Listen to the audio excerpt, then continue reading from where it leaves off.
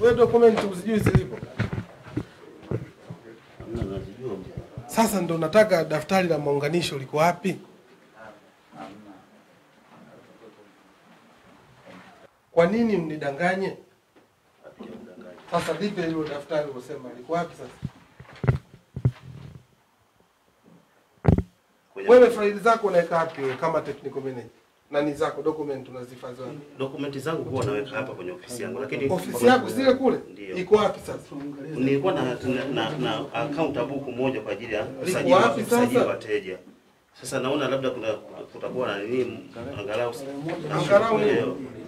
Wewe technical manager njoo hapa. Wewe shika pale nielekee mahitaji ya maji na uzalishaji na vitangazo. Wewe niandikie mahitaji na uzalishaji na vitangazo. Kwa kila mtu akae sehemu yake.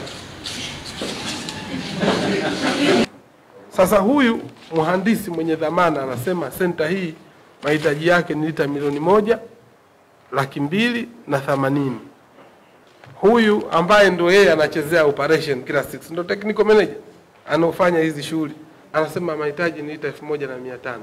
Sasa umeona ni, ni vitu wote hawa ni wataalamu wetu. Huyu anasema elfu moja na mia mbili. Eh?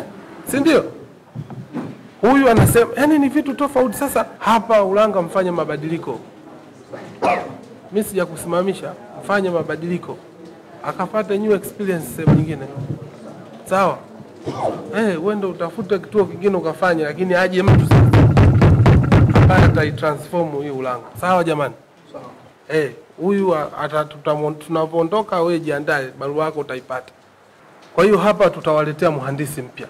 DM Mvomero huyu amefanya kazi nzuri sana katika eneo lake, wala hababaiki, kazi nzuri sana kwa kazi ambayo umeionyesha. Sasa kwa mamlaka ambayo nimepewa mimi nakuteua kuwa injinia wa mkoa.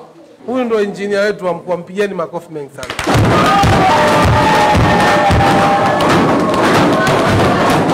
Tunajua changamoto zote, tumepita kote. Nataka uanze kufanya kazi. Mungu akubariki na akufanyie wepesi katika kazi.